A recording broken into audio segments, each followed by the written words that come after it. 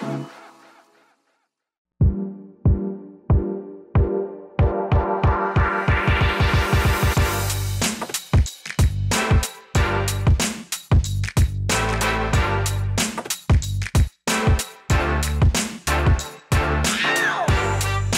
ที่บริษัทเพลเนี่ยเป็นแบรนด์ที่ถ่ายทอดความเป็นตัวผมออกมาถ้าส่วนใหญ่นะครับ ผมเล่าเรื่องราว ผ่านชีวิตมุมมองความคิดของผม แปลออกมาเป็นงานกราฟิกกับเสื้อผ้าคอลเลคชันต่างๆ ที่ทำมานะครับผมคอนเซปต์ของแบรนด์นะครับ คือเรายึดมาตลอดว่าเราคือ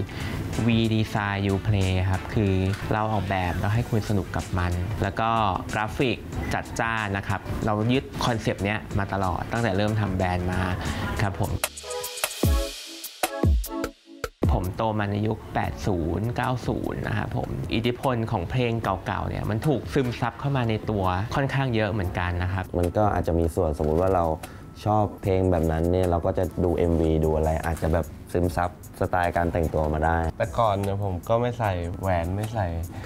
จิวหูไม่ใส่อะไรเลย พอแบบฟังเพลงพวกฮิปฮอปมันต่างประเทศเขาก็ใช่ flex flex flexได้ มิวสิกวิดีโอที่ผมชอบ Francis Lawrence ที่เขากำกับ ผมก็จะซึมซับภาพ ซึมซับโทนเหล่านี้เข้ามานะครับ มีคอลเลคชันหนึ่งก็ได้เพลง You Can Hurry Love นะครับ ก็เอามาเป็นคอลเลคชันที่เกี่ยวกับถุงยางอนามัยอะไรอย่างเงี้ยครับ มันก็เป็นการ relate ว่าเออเราฟังเพลงแล้วเรารู้สึกว่าเอออย่างมาตีคอยมันสนุกสนานมากขึ้นอย่างเงี้ยครับสไตล์การแต่งตัวผมก็แบบง่ายๆครับใส่สบายใช่ครับใส่ขาสั้น ผมผมก็ส่วนใหญ่จะใส่ที่ไม่ค่อยมีลายนะ ไม่ค่อยมีลายอืมเยอะผมอยากลองแบบแต่งอย่างอื่นดูบ้าง มีสไตลิสต์สไตลิมาสต์ช่วยสไตลิสต์ดูให้ด้วย ก็ยิ่งดีเลย จริงๆ แล้วเราก็ดูรูปร่างแล้วก็ดูสไตล์ของทั้งสองคนด้วยครับ OG-ANIC กับ LAZYLOXY เนี่ยว่าเขาแต่งตัวยังไงทำให้เขาดูดีแล้วก็โดดเด่นในงานนี้นะครับทั้งส่วนสูงทั้งสไตล์การแต่งตัวของเขาสีผมต่างๆเนี่ยมันจะลิงก์เข้ากับคอลเลคชันใหม่ที่กำลังจะ launch ด้วยนะครับเป็นเรื่องเกี่ยวกับแบบรถบรรทุก10 ล้อ เห็นสติกเกอร์ที่มันติดบน 10 ล้อครับคำกวนๆต่างๆ สีสันบนรถ 10 ล้อที่มันแต่ง